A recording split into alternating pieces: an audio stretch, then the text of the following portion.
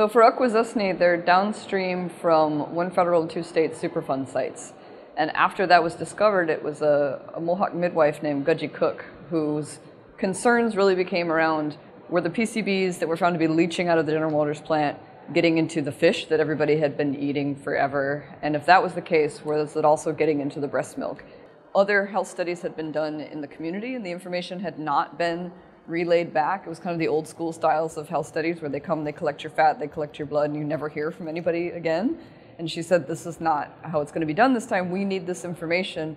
But the only way you're going to get you know, breast milk from women is if Mohawk women are trained to collect that information. So instead of you know, grad students in lab coats going out and, and collecting these samples and this data, it was Mohawk women who were trained how to do that. Then also, when you look at all the research papers that were published out of the work that Akwesasne Mohawks did with SUNY Albany and the, the New York State Department of Health, um, there were Mohawk co-authors on those papers, and that was important as well to kind of show that there had been this input in the data collection and analysis. But then also thinking about are there creative ways of conveying information back to people that go beyond just here's your individual letter, here's how many parts per million PCBs you have in your blood.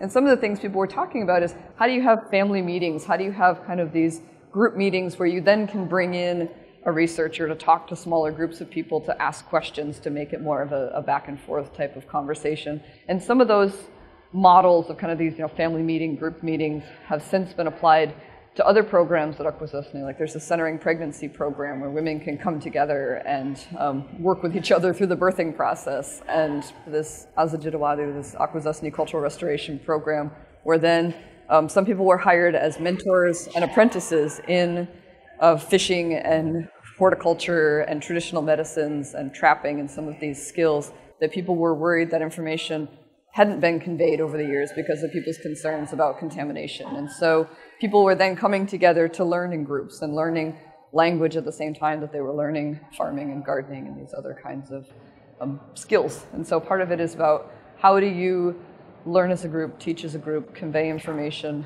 being in constant communication with the community about what kind of information they want collected, and to keep in mind that you know, there's 500 plus different tribes and people have different customs and beliefs and understandings of what kind of information should be collected or shouldn't, and by whom, and who should have access to different information. And that's going to be really different in different places. So, not assuming that from one community to the next, people are going to have the same beliefs about what information is okay to collect.